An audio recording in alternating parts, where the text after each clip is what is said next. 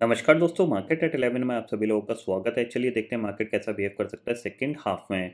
अगर हम currently Nifty bank Nifty की बात करें तो एक गैप ऑफ़ ओपनिंग देखने को मिली है। निफ्टी आपका ट्रेड कर रहा है अराउंड सत्रह था एक सौ अठारह पे और बैंक निफ्टी आपका ट्रेड कर रहा है around thirty nine five hundred पे।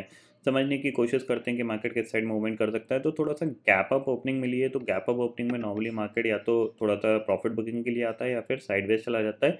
ट्रेंडिंग होने के चांसेस थोड़े से कम बनते हैं, क्योंकि ज़ाहिर सी बात है गैप अप की वजह से क्या होता है कि बायर ऊपर के लेवल पे इंटरेस्ट नहीं होता बाइंग करने के लिए, क्योंकि जो जिनको ओवर द नाइट प्रॉफिट मिल रहा है, वो अपनी प्रॉफिट बुकिंग करते रहते हैं हायर साइड पे।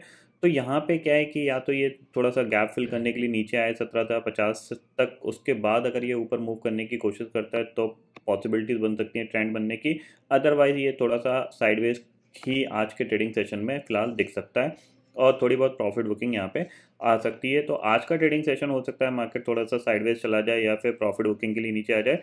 लेकिन मंडे का ट्रेडिंग सेशन आपको हो सकता है एक अप ट्रेंड मिले क्योंकि उस दिन अगर मार्केट फ्लैट खुलता है या फिर गैप डाउन खुलता है तो चांसेस बन सकते हैं कि एक पॉजिटिव ट्रेंड बन सकता है। आज थोड़ा सा आपको आ, मैं ट्रेडिंग नहीं कर रहा हूँ आज के ट्रेडिंग सेशन में क्योंकि आपको पता है कल ही मैंने आपको बता दिया था कि आज मैं छुट्टी है तीन दिन आराम से मज़े करूँगा।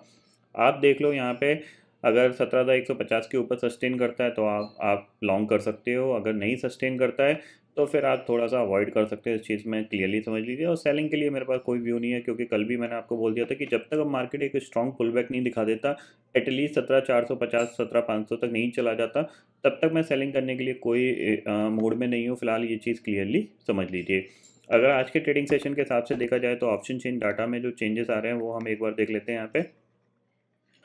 करेंटली आपको दिखेगा कि सत्रह हज़ार सौ की जो कॉल है, वहाँ पे सिक्स फोर्टी एट लाख का ओपन इंटरेस्ट खड़ा हुआ है बट सत्रह हज़ार की कॉल पे अभी भी सिक्सटी टू लाख का ओपन इंटरेस्ट खड़ा हुआ है। पुट पे करीब सेवेंटी सिक्स लाख का ओपन इंटरेस्ट है और सत्रह हज़ार सौ की पुट पे करीब अड़तीस लाख का ओपन इंटरेस्ट यहाँ पे दिख रहा है। ओपन इंटरेस्ट ऊपर की तरफ़ पुट साइड पर बढ़ नहीं रहा है तो ये दिखा रहा है कि यहाँ पे मार्केट स्टिल प्रेशर फील कर सकते हैं, क्योंकि पुट राइटर्स का कॉन्फिडेंस नहीं है ऊपर की साइड पर कॉल राइटर स्टिल अपनी पोजिशन को होल्ड कर रहे हैं, क्योंकि आपको दिख रहा है सत्रह हज़ार की कॉल पर सिक्सटी टू लाख का ओपन इंटरेस्ट होना, ये इंडिकेट करता है कि मार्केट अभी भी थोड़ा सा वीकनेस दिखा सकता है, इसीलिए ये कॉल राइटर्स अपनी पोजीशन को छोड़ नहीं रहे हैं। ठीक है ना?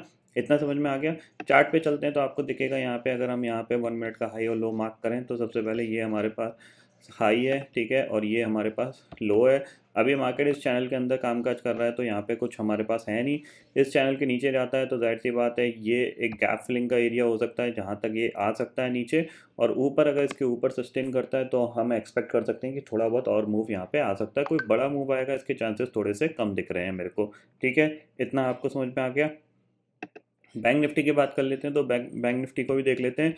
Around thirty nine four hundred के आसपास ये थोड़ा सा कामकाज करने की कोशिश कर रहा है। ये आपका हाई है और लो की बात करें तो ये आपका लो है। अभी इसी चैनल के अंदर कामकाज कर रहा है तो साइड सी बात है कोई व्यू बनता ही नहीं है। नीचे की साइड निकलेगा और नीचे फिर आपके पास मल्टीपल सपोर्ट हैं क्योंकि थर्टी नाइन टू फिफ्टी एक सपोर्ट है। उसके बाद आपका अराउंड एक्सपेक्ट कर सकते हैं कि थर्टी नाइन ज़ीरो फाइव भी आपके पास एक सपोर्ट है। तो यहाँ कहीं तक आएगा तो यहाँ से एक पुल बैक आ सकता है। तो सेलिंग का मेरा कोई व्यू नहीं है, इसलिए मैं यहाँ पे आपको शॉर्ट करने की सलाह बिल्कुल नहीं दे रहा हूँ। बाइंग का सेटअप बनता है तो बाय कर लीजिएगा यहाँ पे। अदरवाइज़ आप ट्रेडिंग सेशन अवॉइड भी कर सकते हो या जिसको शॉर्ट करना है, वो अपना stop loss strict stop loss day high का लगा के शॉर्ट कर सकता है। ये चीज़ आप क्लियरली समझ लीजिए। शॉर्ट की सलाह क्यों नहीं है? क्योंकि ओवर द नाइट जो यूएस मार्केट के अंदर एक रिबाउंड देखने को मिला, जिसमें कि नैसडेक करीब आपका ढाई परसेंट और डाउजोन्स करीब एक परसेंट से ऊपर चढ़ के बंद हुआ है क्योंकि 371 पॉइंट डाउ जोन्स चला था और नेस्डेक भी करीब 283 पॉइंट चला था इसीलिए मैं आपको यहाँ पे शॉर्ट करने की सलाह नहीं दे रहा हूँ क्योंकि ये कहीं से भी एक हो सकता है एक दो कैंडल बड़ी सी बना के डे के पास पहुँच जाए। ठीक है? इतना आप क्लियरली समझ लीजिए। और कुछ यहाँ पे आज के मार्केट में है नहीं बताने के लिए, अगर मैं बताऊँ क्लियरली ये हो सकता है थोड़ा सा साइडवेज ही ट्रेड करे।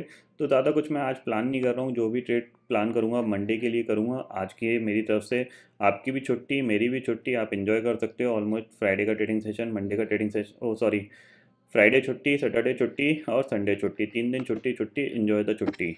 ठीक है? तो आई होप दोस्तों ये पर्टिकुलर डाटा आपको समझ में आ गया होगा दोस्तों। फ़िलहाल इस वीडियो में इतना ही है। आई होप ये वीडियो आपको पसंद आएगा। वीडियो पसंद आता है तो लाइक और शेयर ज़रूर करिएगा और चैनल को जो सब्सक्राइब कर लीजिए क्योंकि मैं सुधीर लेके आता रहूँगा हर दिन आपके लिए नए नए वीडियो इसी के साथ शुक्रिया दोस्तों। जय हिंद।